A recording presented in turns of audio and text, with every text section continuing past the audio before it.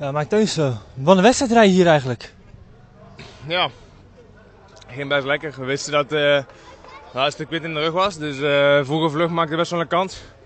Nou, lukt om erin te zitten en uh, ja, zolang mogelijk blijven rijden. En ja, helaas breekt de koers eigenlijk best snel op erachter, maar toen nog redelijk eind mee kunnen gaan. Je zegt het ging best lekker. Je oog niet heel erg tevreden. Had er, had er meer in gezeten voor je gevoel?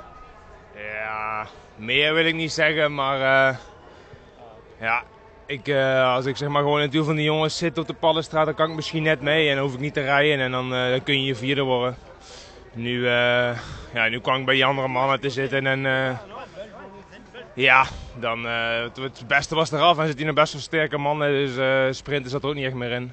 Anders dan rij je nog mooi top 10 en nu, uh, nu zit ik iets verder. Maar uh, ja, het doel was om te anticiperen en dat is gelukt. En uh, ja, er zit er toch een redelijk mooie uitslag in. En het ging wel goed, dus dan kunnen we die andere klassiekers eens kijken. Als we, ons rust, als we rustig blijven, hoe ver we dan kunnen komen. Maar ja, was toch niet slecht vandaag.